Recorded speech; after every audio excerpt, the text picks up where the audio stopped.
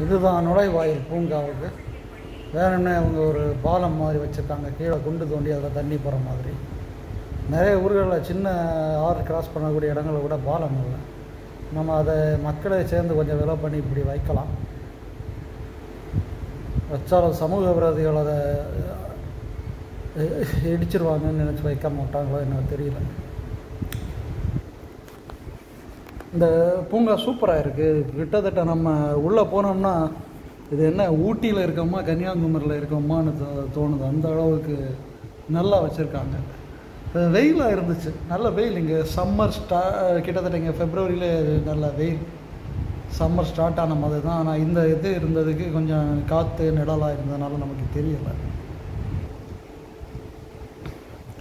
ஒரு ரவுண்டான மாதிரி வச்சு வச்சுருக்காங்க. நல்லா இருக்குது அதுங்க இங்கே அந்த ஸ்ப்ரிங்லர் மாதிரி வச்சு தண்ணியெல்லாம் விட்டுட்ருக்காங்க சொட்டு நீர் பாசனமாக தமிழில் அது பண்ணிகிட்ருக்காங்க இங்கே ஒரு சின்ன பார்க் வச்சுருக்காங்க குழந்தைகள். அங்கே பசங்க விளையாட்டுருக்காங்க இங்கே இந்த ஈச்ச மரமாக இந்த மாதிரி இது பெங்களூர்ல எல்லாம் வச்சுருப்பாங்க. நிறைய நாடுகளில் வச்சுருப்பாங்க. அதான் இருக்குது இதெல்லாம் அப்படி ஊட்டி பொட்டானிக்கல் கார்டன்ல எல்லாம் முன்னாடி பார்த்த மாதிரி இருக்குது அந்த மாதிரி வச்சுருக்காங்க. சூப்பராக இருக்குது பசங்க எல்லாம் நின்று செல்ஃபி ஃபோட்டோ எல்லாம் எடுத்துகிட்டு இருக்காங்க சூப்பராக இருக்குது கண்ணுக்கு குளிர்ச்சியாக இருக்குது கன்னியாகுமரி எக்கோ பார்க் தமிழில் அதை தோட்டக்கலை வச்சு நடத்திட்டுருக்காங்க சுற்றுச்சூழலியல் பூங்கான்னு போட்டிருக்காங்க. நீங்கள் கன்னியாகுமரி போனால் இதை ஈஸியாக பார்க்கலாம். கூகுள் மேப்பில் அடித்தாலே இருக்குது லோக்கல் டிரைவராக இருந்தால் அவருக்கு தெரியும். இல்லை கூகுள் மேப்பில் அடித்தா வருது. வெரைட்டியாஸ் டிஃப்ரெண்ட் கலர்ஸ்ல எல்லாம் செடி கொடி மரம் வச்சுருக்காங்க. மாங்காய் மரம் அது இதுன்னு நிறைய வச்சுருக்காங்க. இதில் என்ன தெரியல. இலையெல்லாம் உதிர்ந்து போயிருக்கு. ஒன்று ரெண்டு பூ மட்டும் கிடக்குது. அந்த கம்பு இருக்குல்ல அதில்.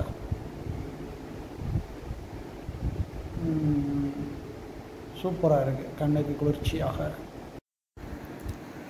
இது பார்க்கு ரொம்ப நல்லாவே இருந்தது. இது வந்து டுவெண்ட்டி ஃபைவ் ருபீஸ் என்ன டிக்கெட் வாங்கினாங்க. ஆனால் வந்து பன்னிரெண்டு வயசுக்கு மேல் மேற்பட்டவங்களுக்கு தான் டிக்கெட் அதுக்கு கம்மியானவங்களை ஆஃப் டிக்கெட் ஏதோ வாங்கினாங்கன்னு நினைக்கிறேன்.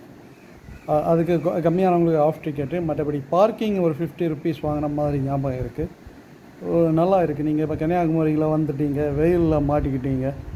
சரி கொஞ்சம் ஒரு லேட்டாக கன்னியாகுமரியில் சுற்றலாம் காலையில் எங்கேயாவது போகணுன்னா இந்த பார்க் வரலாம் இங்கேயும் கொஞ்சம் லைட்டாக வெயில் இருக்குது ஆனால் கண்ணுக்கு குளிர்ச்சியாக நிழலும் நிழலும் இருக்குது அதனால் இது உங்களுக்கு நல்லா யூஸ் ஆகும். கண்டிப்பாக இதை பார்க்க வேண்டிய இடம். கன்னியாகுமரியில் டூ தமிழ்நாடு டூரிசம் போர்டு நிறைய ப்ராஜெக்ட் பண்ணிகிட்டு இருக்காங்க.